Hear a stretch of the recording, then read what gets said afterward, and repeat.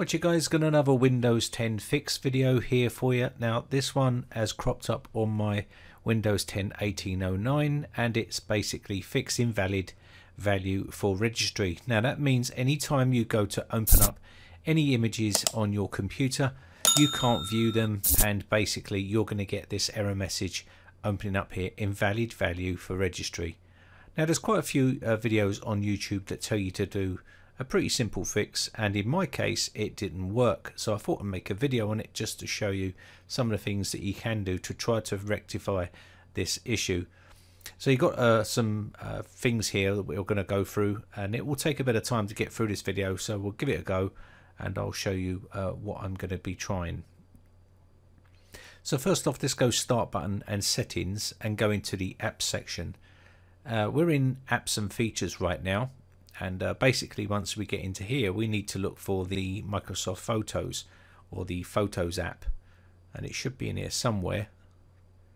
And then once we find that we can go ahead and try to repair it. Because sometimes uh, this um, area gets broken and it doesn't work. So I'm trying to find it here.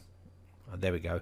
Microsoft Photos into advanced options here. And once we get inside here we want to go ahead and hit the repair button and this will hopefully try to repair it. And while we're here we're just going to go ahead and test it. It hasn't worked.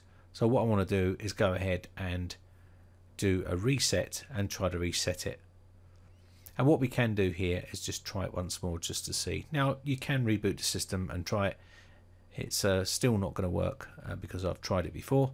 So I'm going to go ahead and just record this and show you how uh, we're going to try and resolve this issue Okay, so next up what we're going to do here is go to the search box and we're going to type in here trouble or troubleshoot and you should see troubleshoot settings.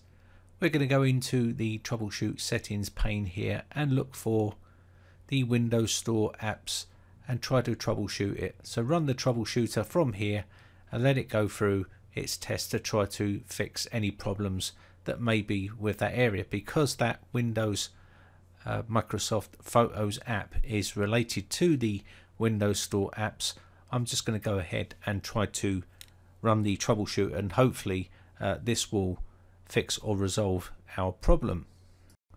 So this will take a bit of time just to run through. Okay, it'll tell you to open the apps. I've already done this part so I'm not going to do this. You can do this before you do the reset and repair but I'm just going to go ahead and just uh, click on this bit here and it takes you back to this location. So I've already done that bit so I'm just going to go next here and let it finish off its uh, troubleshooting to see whether it can resolve it. Okay so we can close this off now. So next up what I'm going to do here is try to uninstall the app. And you can see here I'm still going to get some issues here.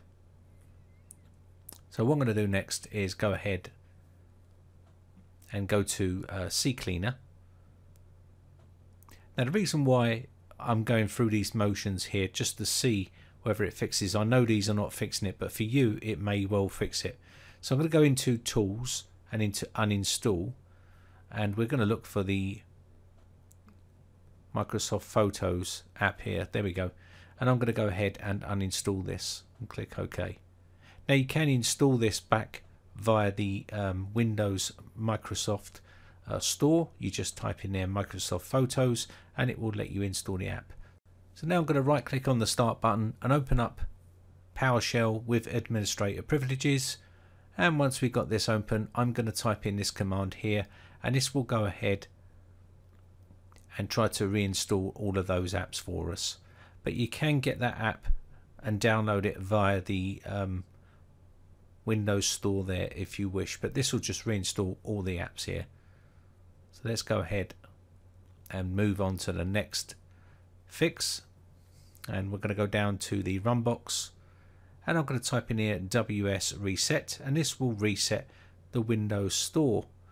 And hopefully by resetting it, a command prompt box will open up like this. You should see that little Windows Store icon in the top left hand corner. Just let this run. It will take a bit of time, so don't close it. It is working in the background uh, and it's going to try to reset your Windows Store okay? And hopefully because it's related it may fix it. And there we go. So I've give that a run. So now we've uh, tried that. Now what we're going to do next is try another fix here. I'm going to open up and see if this is working. So you can see it's still not working. And uh, there's plenty of articles online that says doing those simple things that I've done already that fixes it and it doesn't in my case so what we're going to do here now is go down to the search box here. Just type in there CMD and open up the command prompt with administrator privileges. And we can type in here SFC scan now and let that run. Now when I'd run this it didn't work for me but this is a common thing that you have to do. You have to run this because sometimes this can fix um, problems with your Windows files. So just let that run through. It does take a bit of time to run uh, but it's worth doing because it could fix an issue with your machine and uh, hopefully that will uh, work out for you. So just be patient and let this run through. It should take about 10 or 15 minutes or longer. So you can see here we've got now a verification 100% complete and everything is okay with that. So what I'm going to do next is run another scan here and this one is going to uh, do the DISM uh, command. So I'm going to run that on this machine and see if this uh, fixes it. I'll try and uh, leave these commands in the video description for you. So this one you've seen me run before, it's DISM space forward slash online space forward slash clean dash image space forward slash restore health and let that run. This does take a bit of time, takes about 20 minutes to let it run and hopefully uh, your issue will be resolved. If it's not, then we can try some other stuff. But we're sort of getting to the point now where uh, I'm a bit concerned because obviously I've done all these and it's not worked and I don't know why it's not working because normally that resolves a lot of the problems so we're going to go ahead and let this finish off and I will uh, see what we can do after this one so I'll just let this uh, finish off. There we go. And I can close this box off. So next up what I want to do here is try and see if these pictures open. And as you can see I'm still getting the same issue. So what I'm going to do next is I'm going to try something else here. So I'm going to go to the search box here and we're going to open up the registry editor. Now what you need to do here is navigate to the path which I'll show you in a second on the screen. You just need to navigate to this location here. So you can see HKey current user, software, classes, then we need to go to local settings, then software, then Microsoft, then Windows, current version, app model, then repository, families, and then inside there you're looking for the Microsoft.windows.photos. There'll be another number on the end of that and that's what you need to look for inside that location, okay, right here. So once you see that location, there'll be some folders in here. Now there's only two in mine now sometimes you get uh, older folders in here with older dates on them and you want to delete those okay um, I'll show you how to do that just right now so I'm just going to right click on delete these ones underneath here so if you've got a bunch of them in here you want to remove the old ones the old ones with the old dates so I'm just going to remove these two just to show you and don't worry about it because they will repopulate once you uh, open up the uh, Photos app, it will uh, repopulate it. I'll show you uh, right now when I do this. So I'll leave this as is. And you want to restart your computer at that stage uh, once you've removed those from here. But let me just quickly open up the start settings and then go to apps. And in apps and features, we're going to look for the Microsoft Photos there we go. Click advanced. And I'm, what I'm going to do here is I'm going to do reset and repair inside here. And when I did this, it repopulated and put those back into the registry. So let me quickly show you here. I'm going to go back. I'm going to go up to the top here and go edit and refresh here just to show you that they've gone back in there. And there you go. They've repopulated. Now once I've done that I'm going to quickly uh, open up and see if it worked. and unfortunately it didn't work either. So hopefully at this stage you have resolved your issue but if you're still having issues like I am then you're sort of running out of uh, options and we need to move on to another fix. So I'm going to go back into the start button and settings here. And what we want to do here is we want to go into accounts. We're going to set a new user account profile.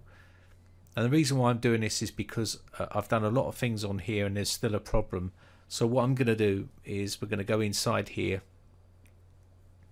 and create a new uh, user profile uh, for this account.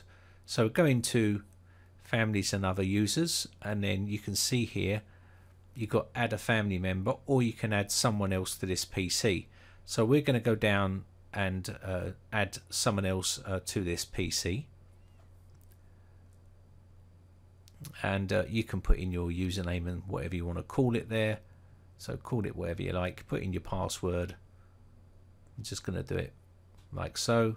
I'm going to have no password for this one and you can see now that account has been created it will be a standard account so you need to change that to administrator if you want to give it administrator privileges so I'm just going to click on this and change account type and this will allow me to now change it from a standard user to administrator. And you can see it's a local account as well. So I'm just going to click OK here. Now if we logged into this account it will then start to create um, the, the, the desktop for you and stuff like that and it should resolve your issue. Now if you have got uh, data on this account that you're using right now which is broken you may want to copy uh, all your user profile data over to your new account and I'll quickly show you how to back up this user profile data and move it across. So we're going to close this off here. And what we want to do if you want to change into that account you can do by going down to the start button there. So you just click on the uh, start button here and you should see that little account you just created. You can click on this and it will change into it. So what I'm going to do first is go into control panel and what you're looking for is the backup and restore and you want to click on setup backup and this will start the uh, Windows backup. So choose a location, your destination where you want to put it. And uh, so select that. And once you've selected that, you can then click on uh, next. Now let me choose is what the option you want to do and click on next. And you should now see that it's going to ask you, do you want to back up all of the uh, data for that profile, which was change me uh, that was the library. So if you want to copy all that data across you want to make sure you select whatever you want there click next and then click on uh, save and then and it will start the backup and run the backup. And this will back up all your user profile but you don't want to obviously back up Windows because we're using Windows and that's fine and this will go ahead and start backing up all your user profile you can then restore that on your new uh, profile when you log into it and it's re been rebuilt so that's basically how you can back that stuff up. And then you should have a brand new user profile that is working with all your data. Now, if you don't want to go through all that process there as well, you can also just use this, which is going to use your photo viewer, which was an old application. And it's a registry entry, which will allow you to now change what you open this uh, photo with. And you'll see here, choose another app so right click on it, choose another app, and you won't see it listed here. So you may need to click on more apps and then go down until you see Windows Photo Viewer. Always use this app and click that and click OK. And when you open it, it should open in Windows Photo Viewer. Now you obviously won't have to do the photo viewer if you've created a new user profile and stuff like that. But if you don't want to create a user profile and you want to change your uh, Microsoft Photos app to uh, Windows Photo Viewer, then that's basically how you can do it.